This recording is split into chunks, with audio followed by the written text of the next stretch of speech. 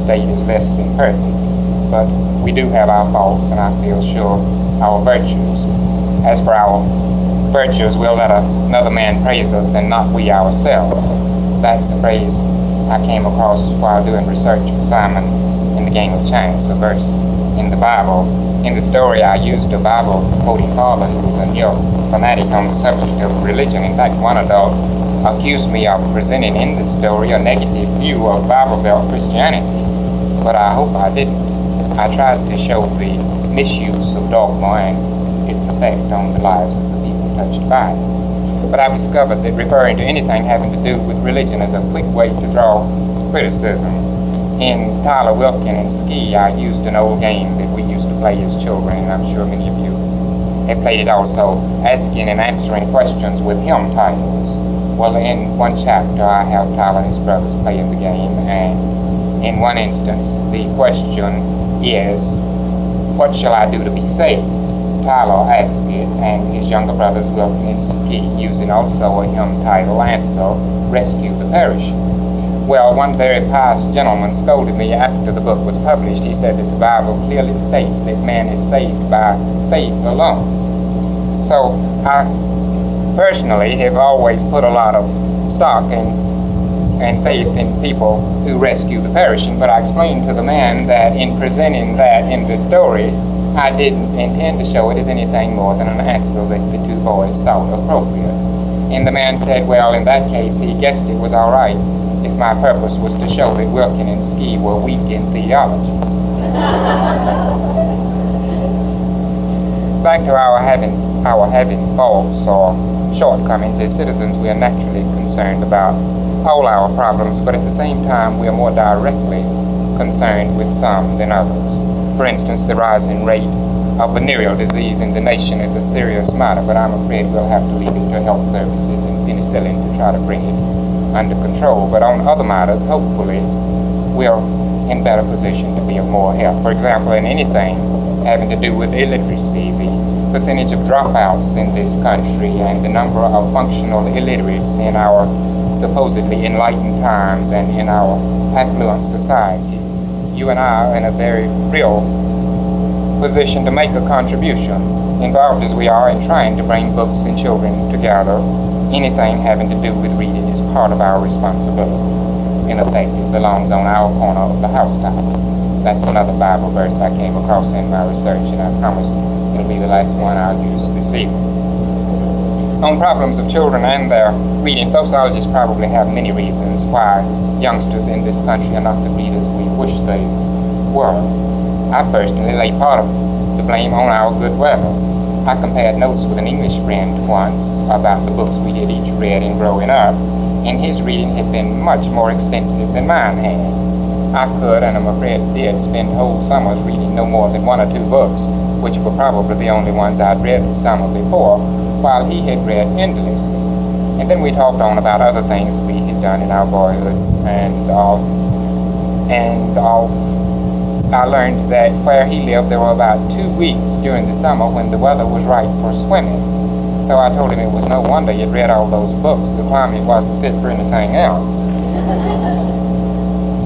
Another thing that may have kept us from becoming a nation of readers is our rural background, which is not to say that people don't read as much, often more in the country as in the city.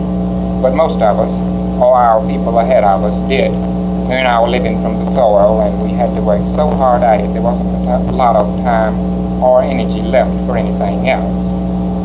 Then later, of course, the Depression hit all of us, and we've been a long time in recovering, but recovering we are, and along with improvements to our economy since then, equally exciting are the changes that have taken place in our attitude toward education. There was a time when many of us didn't place it very high on our scale of values. Grandpa signed his name with X's, so why should we worry about reading and writing? But all that is changing, and you and I must not only keep pace, but help set it. We must do all that we can to stimulate an interest in books by children. It's a challenge in one place in which I feel an effort is being made to meet the challenge is in the field of realism for youngsters. I'm going to dwell mostly on realism tonight because it's the area in which I work primarily. I started to say the area that interests me most, but all kinds of stories interest me. Fantasy, for example, I enjoy very much. So much can be said in it and in such an entertaining way that I'm enormously envious of the people who can write it. But getting back to realism, one of the ways realistic stories have changed in recent years is to become realistic. That sounds silly, doesn't it? But it's true. You've only to look back a few years at stories that were presented to children as being realistic and see what you think. I don't think I've ever made a talk in which I haven't quoted C.S. Lewis, and if you won't mind, I'll do it again. He was discussing fantasy in an essay, but he touched on realism, saying, I think what profess to be realistic stories for children are far more likely to deceive them than fantasy. I never expected the real world to be like the fairy tales. I think I did expect school to be like the school stories. The fantasies did not deceive me. The school stories did. I agree with his views on realism of the past, and I expect you do also, but aren't you glad there have been such changes in the few years since that essay was written that today the acceptable realistic stories do not deceive the reader. They literally are more realistic. Surely in earlier years children didn't believe that life was as tidy a package as it was presented in their stories or the problems always worked out had happy solutions. Don't get me wrong, I'm not against happy endings in life. Surely there are more happy endings than sad ones, so to be truly realistic, shouldn't books average out the same? But I think it's good for a child in opening the book that nowadays he knows he'll be treated with some respect and that no one has got to manipulate a story so that it will end happily just for him. We insulted his intelligence in earlier years to do this, and at the same time we took away part of the suspense. If on page one the goal of the hero was to obtain a red wagon, the reader knew that in the end he would obtain a red wagon. It was not a matter of if, but how. To, uh, for escape fail on occasion, that's sort of story is all right. It's something of the same principle as our reading adult mysteries. We know the murderer will be apprehended, but we read on to find out how. Still, I'm glad that when I set out to write a junior novel, I don't have to guarantee the reader I'll contrive a plot till it works out to a pat ending. I'll make every effort to see that this story grows as naturally as possible out of character development and the circumstances of the time and place in which the story is set. If it works out to a happy ending, fine. If it doesn't, that's okay too. That's not to say that I approve of terribly negative endings. I think that a children's book should end on a positive note. For example, in the illustration I used just then, if the boy has not obtained his wagon, I don't want him or me, if I'm reading the story, to feel really defeated. I like to feel at the end of a story of that type that he's going to roll up his sleeves and continue the struggle till he does obtain one. Or preferably that maybe his values have changed along the way and he has his sights on something higher, maybe not even a material possession. I think that in stories it's right to include problems, no matter how serious, that young people face today I don't think anything that could happen to children should have to be left out of their stories. It hadn't been too long that even we adults could discuss things openly. Celestine Sibley of the Atlanta Constitution was telling me that until fairly recently, newspaper, newspapers couldn't use the word rape. It was criminal assault.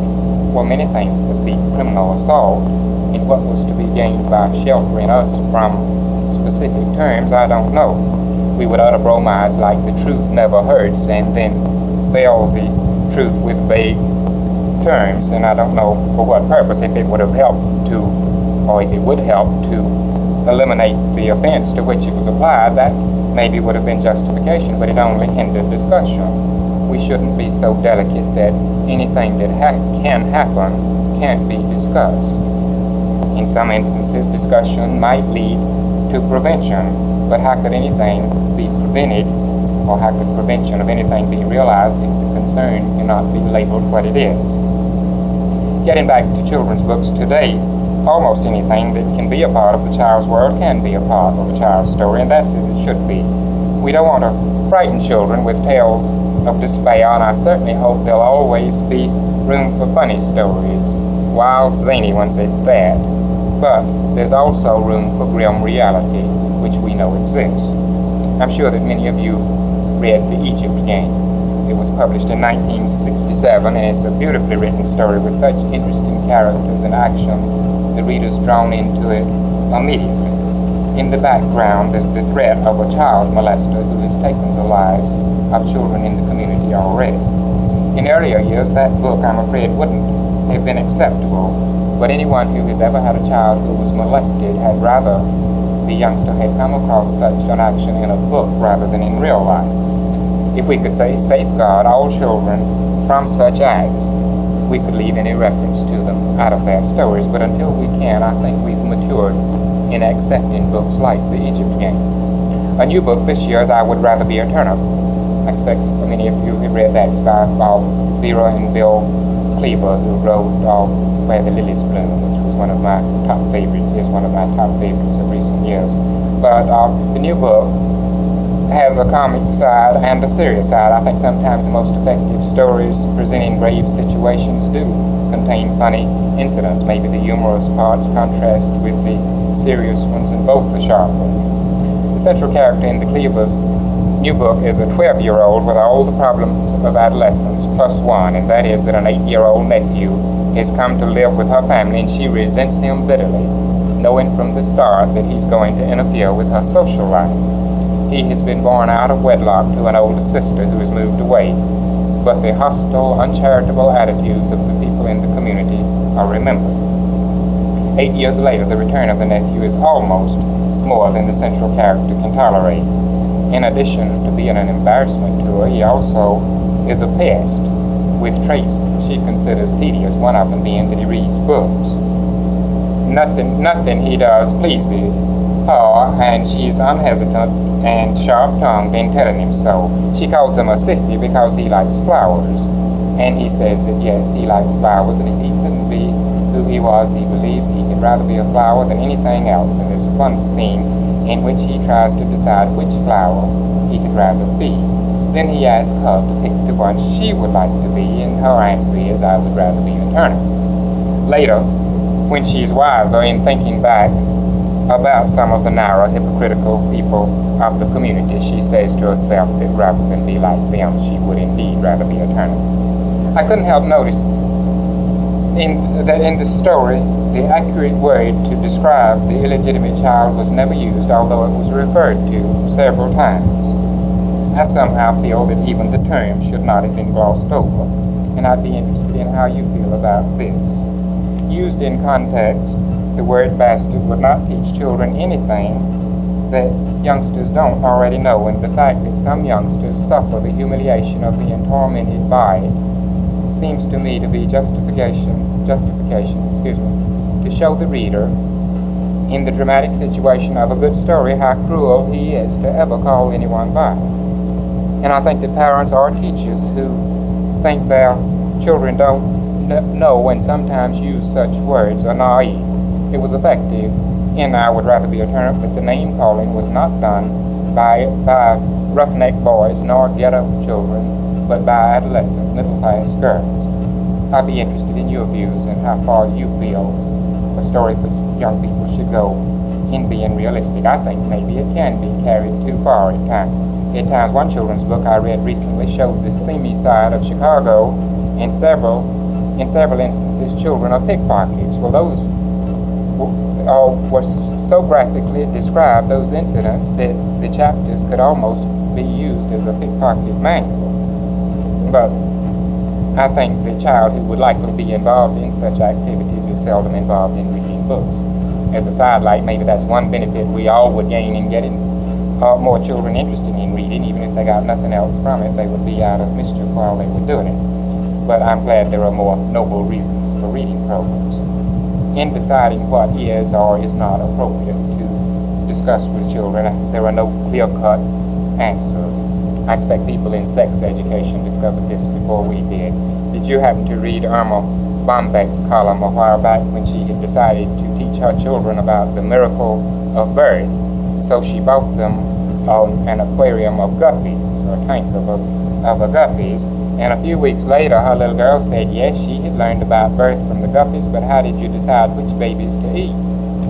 And So the uh, Ms. Bombeck replaced the guppies then with seahorses, uh, where the male, through some strange quirk in nature, is the one who gets pregnant, and her son learned his lesson. He said that he wouldn't mind having babies if he had to, but he didn't believe he could tread water that long.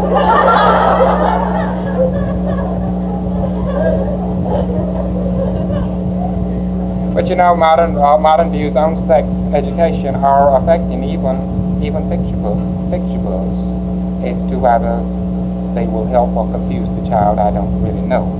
Of course, there are other things that have to be discussed nowadays, whether we like talking about them or not. The drug problem is perhaps the most serious ones, most, most serious one that most of our young people face today, and we should do anything we can to help them understand it. However, I've read some stories on drugs in which the authors give valid information, but the stories themselves have been dull, with uh, flat characters in contrived situations.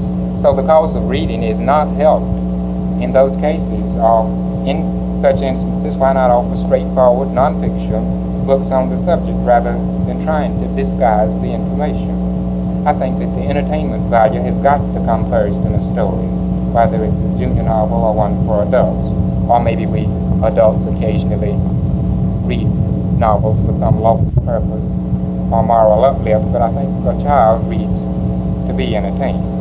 Of course, they occasionally read a book or story because the teacher or the librarian has assigned it or suggested it to them, but we're all losers unless we can persuade them to also read books on their own for the joy of reading or to discover the pleasure in reading. And although the child doesn't consciously realize that he gets more from a good story than entertainment. Maybe not always something that will help him on tomorrow's examination, although I'm convinced that reading for pleasure builds a better vocabulary faster than any number of white book exercises or vocabulary drills, maybe because there's no straining. Maybe we all learn more when we are not trying.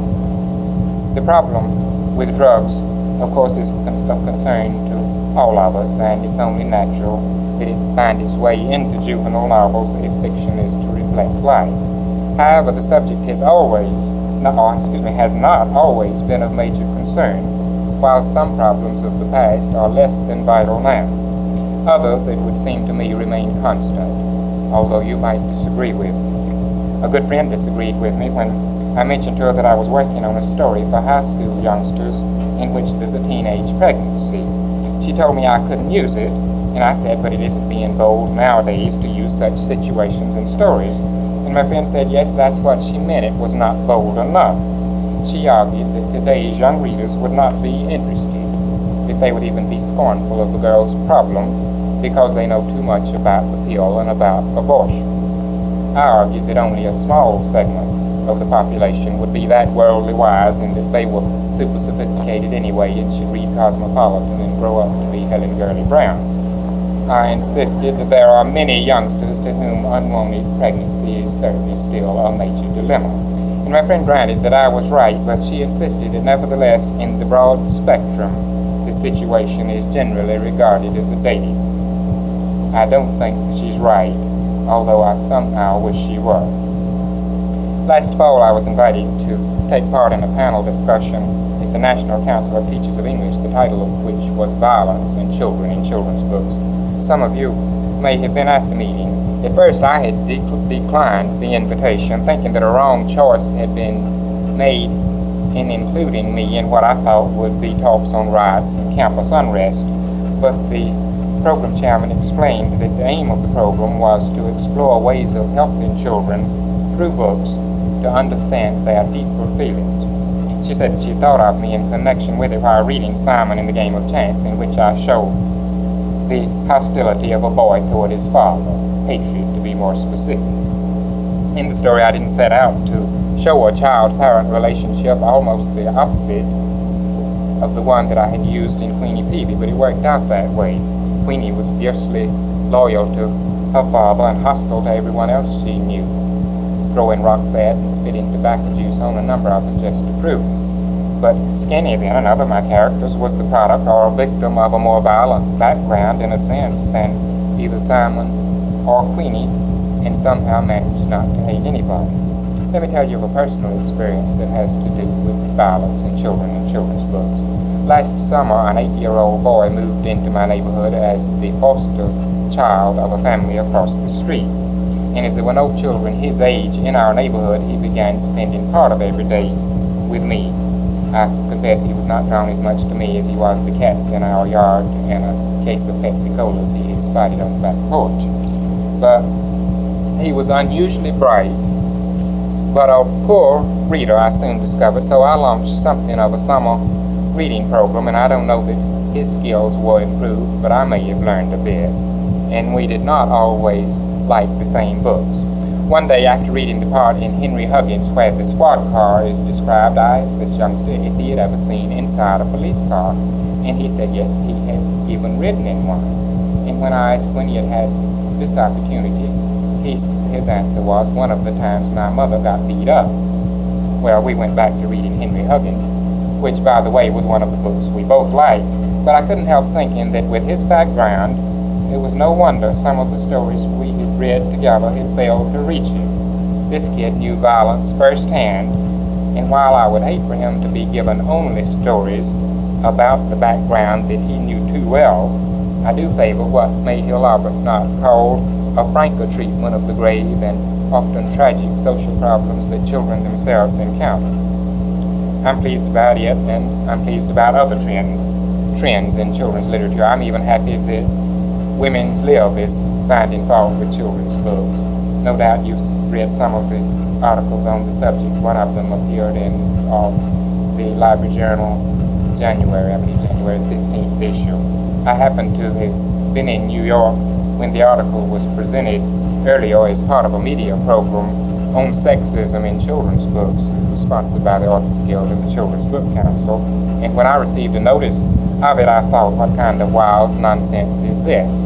but I thought I'd go and find out. And down deep, I didn't mind that children's stories were coming under fire by the movement. I'll sidetrack a bit and tell you why. It has to do with a visit I made to Ohio State University of spring a year ago. Some of you know uh, Charlotte Huck. I'm sure she's one of the professors there, but she had asked me to visit her classes while she attended IRA, IRA, and I was delighted to accept. I was not delighted when the time came for me to be there that it was at the height of the trouble on the campus. In fact, the day I finished there, the students were sent home for two weeks. Dr. Huck told me afterwards that she had not meant for me to shut down the campus. But while, while I was there, most of the buildings were picketed. Protesters were denying entrance to them by students and faculty members, except the education building where our sessions on children's literature were being held. No one ever tried to keep me or anybody else out of it, and I somehow felt cheated. The, rioters didn't consider the School of Education or the field of children's books a serious enough matter to worry about. I came away thinking that I had rather be fired on than ignored, so that explains why I was happy that Women's Lib was going to attack children's books and with a jazzy title including sexism in it, I wasn't about to miss the show. I confess that I went to laugh at the participants, but instead I laughed with them. Their program was done with such good humor, and they had researched the matter so carefully that they really made friends. Have a look at the uh, Library Journal article in the event you haven't read it.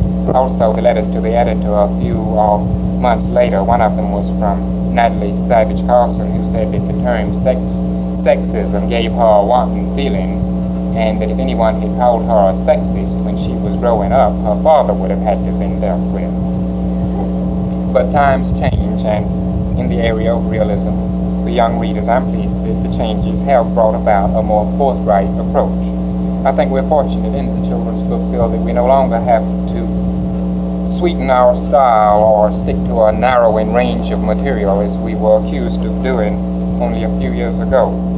If a realistic story is to be honest, it seems to me that we underestimate the child or overestimate society and human nature if we dare not tell it like it is. If you'll forgive me for using that overworked but useful modern phrase. Maybe you'd prefer that I go back to the Bible. in any event, we owe our reader the truth as we see it whenever we present a tale to him as being real, realistic.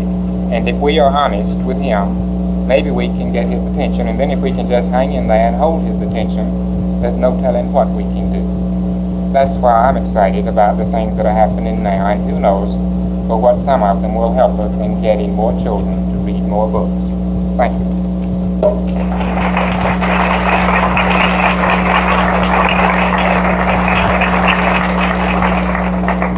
Did you want to ask me questions? But also, don't anybody feel that you stay. But if any of you would like to visit or visit, did you have questions? I believe we're going to have coffee session afterwards. Right. All right. Did anybody care to ask a question or tell tell me what kind of books to go home and work on, or what I'm doing wrong, or whatever? Anybody? All right, fine. Well, let's let's. Uh, let's uh, mill around then and drink coffee. You, well, you've been a good audience. Let me ask, uh, make this bargain with you. Before, thank you. Before we part, and that is that I'll continue to try to write books if you'll continue to encourage children to read. Okay.